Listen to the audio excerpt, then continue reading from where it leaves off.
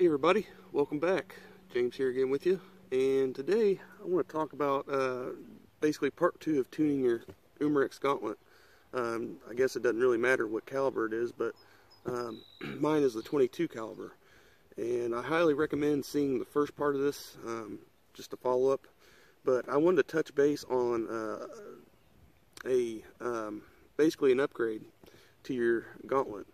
Uh, so about three months ago, uh, Hajimoto um, made some baffles for it, and I got a hold of some, and I've been testing them ever since. And uh, after doing all the factory tests that I wanted to do and show you guys what you can get with the factory gun, I just wanted to show you what you can get with an upgraded uh, baffle system at the end of your um, shroud.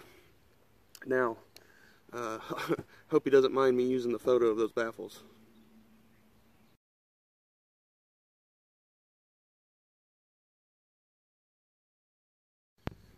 Through my testing, I have found that his baffling system seems to be a lot more, um, you know, velocity spread wise, downrange better.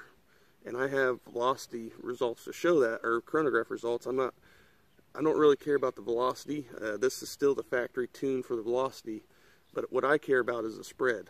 The spread is what matters downrange. You can have a gun that shoots fast as it, fast as ever, but it ain't going to matter if your shot per shot isn't closest to the next shot. Uh, well regulated.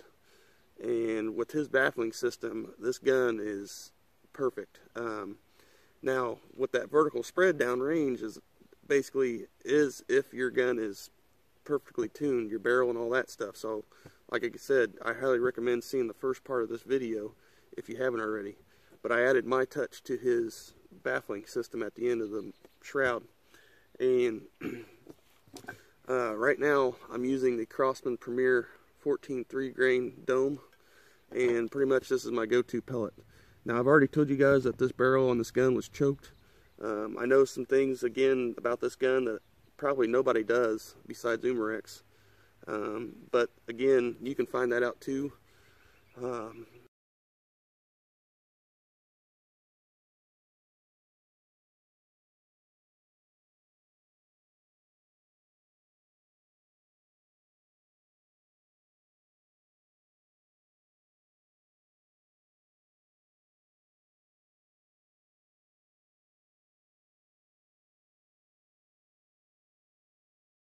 so anyways, uh, just the, the spread is what really matters. This is basically a velocity tune. The spread uh, was cut at less than half using his baffle system versus the standard chamber uh, on the end. And like I said, I added my touch to it, so if you haven't seen part one, go check it out. But I just wanted to show you guys uh, my setup here. Now this is this is how I get my do my accuracy test. The gun is pretty much stable as possible. I take the, the bottle shroud off, I set the bottle in a bag, I do all this, I use my shooting bag. So this gun is the stable as it can be with me behind it. Um, now you could use a, a rest if you really wanted to, but this is how I shoot. I shoot with bags. So I want to start off by showing you guys the results I got at 45 yards. Now, um, this has to be the tightest five-shot group I've ever gotten. I'll show you guys pictures of that. Uh, I got one sighter shot. I always shoot a sighter shot. That's my own preference, just to see where it's landing, and then I'll start shooting. I get relaxed and then start shooting for groups. Um, but 0.14 of an inch, center to center, five shots with supposedly these cheap pellets, and I have to say, chronograph results don't lie. This pellet uh, is well up there in my book on the, uh, you know, quality and uniform shape and everything. And for like $8 a tin of 500, uh, I'm not complaining. I'm not going to waste my money anymore on high-end pellets when I can get uh, best with this pellet. With that said, um, I also shot at 75 yards just to see what's going on. And you have to understand an air rifle is not a firearm if you're into firearms. If you shoot, you know, 50 yards, 100 yards, 200 yards, it is not the same. What matters is how stable the pellet is downrange. Now, um, with the rest that I use, like this style bag, um, the gun is so accurate, as mentioned in part one, that anything I shoot becomes shooter error. That's how accurate this gun is, and it's no joke. Um, so anyways, and that was with the magazine, by the way. Uh, pellet, some pellets you can't use the magazine in it to get that great of results because it dents the skirt or something like that before it even gets in the barrel. But just to show you guys what this gun is capable of, and I still haven't um, done 100 yards yet, which I'm getting ready to because the weather's changed. Uh, everything's getting in order. Everything's getting perfect for me to shoot. Um, but again, another five-shot group, and that one sighter that I took, 75 yards. And I took pictures of both these groups, which you guys will see.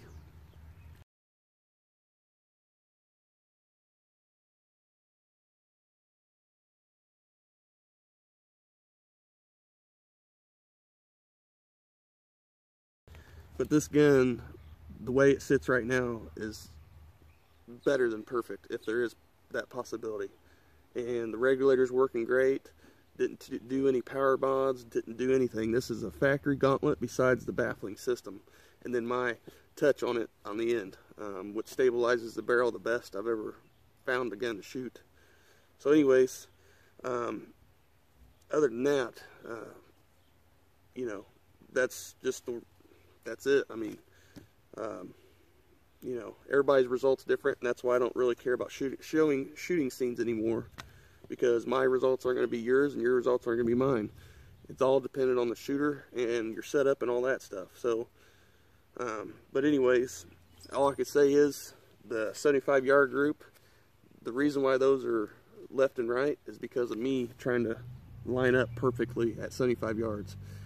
And like I said, a gun an air gun is not the same as a firearm, so shooting the same distance as a firearm is not the same exact way because a pellet is going to be unstable at a certain distance versus a bullet. So anyways, guys, um, I hope you enjoyed this video, and uh, again, if you haven't seen part one, check it out. Uh, and another thing I want to hit on real quick before I end the video is I can't stress enough, no matter what pellet it is, to see the true the true uh, way it's going to shoot, shoot more of that same pellet. Don't switch pellets. Shoot, uh, like I, have mentioned before, I usually do about 20 uh, rounds, two magazines full of one pellet just to see how it's going to act, if it's going to tighten up or if it's going to stay the same. And if, if the groups stay the same, you know, they're not that great, switch pellets. But that doesn't mean, you know, I, I had to actually shoot these pellets about 30 times today to get them to shoot that good because the barrel is getting tuned to those pellets.